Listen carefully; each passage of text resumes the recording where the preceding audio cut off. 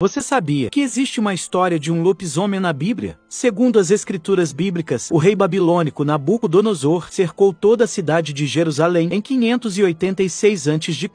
E durante tempos, seu exército não deixou que ninguém entrasse e nem saísse pelos muros de Jerusalém. A situação era tão desesperadora que é relatado que as mães comiam os corpos de seus filhos, pois a fome era devastadora. Foi então que Nabucodonosor e seu exército entrou na cidade fazendo um verdadeiro banho de sangue. Nabucodonosor invadiu e profanou o primeiro templo que foi construído pelo rei Salomão e esfrega sangue de porco nas paredes do templo, pois o porco é um animal considerado impuro para os judeus. Ele pegou todos os utensílios valiosos do templo e os levou para a Babilônia, e também sequestra o povo de Jerusalém sobrevivente e os leva como escravos. Chegando na Babilônia, o rei Nabucodonosor organizou uma grande festa em adoração aos deuses babilônicos. Ele pegou os objetos sagrados de Jerusalém e os colocou no meio meio da festa e os profanou. Segundo a Bíblia, o rei começou a se envolver tanto com seus deuses que ele começou a ficar desequilibrado e começou a se transformar em um animal. Ele foi expulso do meio dos homens e passou a viver pelos campos. Diz a Bíblia que suas unhas se transformaram em garras, seus cabelos e pelos do corpo cresceram, e ele passou a viver como os animais selvagens, e também acabou perdendo a consciência humana. Em outras palavras, ele se transformou literalmente em um lobo selvagem. Ele passou a viver em meio aos bois, agindo e comendo como um animal selvagem. Até que um tempo depois, Nabucodonosor olha para sua própria imagem e percebe que está em um estado animalesco e deformado, e a partir daí sua consciência humana voltou. Nesse momento, Nabucodonosor abriu mão das suas entidades e pediu perdão ao Deus de Israel. E nesse momento ele volta para sua forma humana e consegue voltar para seu palácio novamente. Então essa seria uma história bíblica que contaria sobre a existência de um lobisomem.